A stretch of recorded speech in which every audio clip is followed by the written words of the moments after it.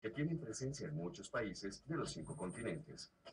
Representan un grave riesgo para la biodiversidad, además de los efectos irreversibles e imprevisibles sobre la salud del ser humano, afectan también a los pequeños productores del campo. Mira, un transgénico es un organismo que se ha modificado genéticamente, donde se trasladan información genética de una especie a otra totalmente diferente, puede ser de familias botánicas o animales o microorganismos en todas las direcciones. Las semillas transgénicas aparecieron en los mercados en la década de los años 90 y desde entonces han acarreado diferentes problemas de grandes dimensiones. Ya hay diferentes estudios que muestran la actividad del transgénico en, por ejemplo, a nivel ambiental, donde se ha mostrado claramente y hay reportes en revistas científicas que muestran que el transgénico afecta biológicamente el ambiente.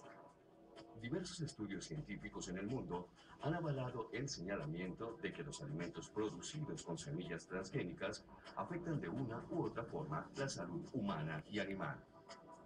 Existen algunos, sin embargo, algunos reportes que uno encuentra en diferentes revistas eh, ranqueadas a, nivel internacional que muestran que los transgénicos pueden tener diferentes actividades eh, en el cuerpo humano. Hay un estudio del 96 en el que trabajan con soya transgénica, es decir, eh, soya que le dan para tenerla más enriquecida, colocan genes que provienen de nueces del Brasil. Algunos de esos genes se ha comprobado que generan alergias en los individuos que las consumen.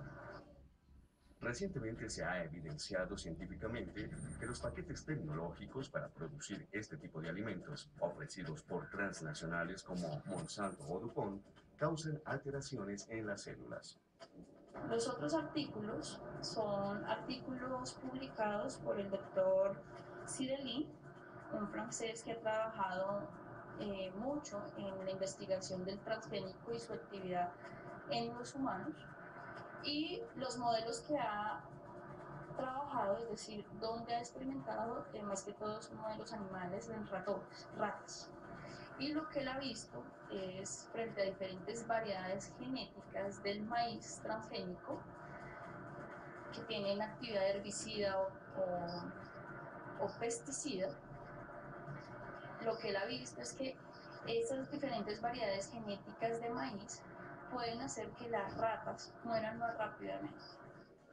Algunos países de la región, como México, cuentan hoy en día con millones de cultivos transgénicos, causando graves daños al medio ambiente, consumidores y a pequeños agricultores. Hoy en día también hay una pelea gran, grandísima en México porque el gobierno, por presión de todas estas transnacionales como Monsanto, DuPont, Syngenta, eh, están eh, pretendiendo liberar o sembrar más de 2 millones de hectáreas de maíz transgénico en el norte de México. Entre tanto, muchas personas de distintos países del mundo ignoran los componentes reales de los alimentos que consumen, muchas veces producidos con semillas transgénicas, debido a que la etiqueta del producto en su tabla nutricional no especifica si es procesado con semillas naturales o transgénicas, poniendo en riesgo la salud de las personas. Tengo derecho a conocer qué me estoy comiendo y tengo derecho a tener la opción de decir quiero o no quiero. ¿Mm? Debería ser a nivel legislativo pedirle a estas compañías que introducen estos transgénicos en nuestros países, deberían siempre exigirles estudios de seguridad en humanos o de seguridad en mamíferos que nos permitieran o dieran evidencia para que nosotros empezáramos a consumir nuestros alimentos. La teoría del yin y el yang y la filosofía de los cinco elementos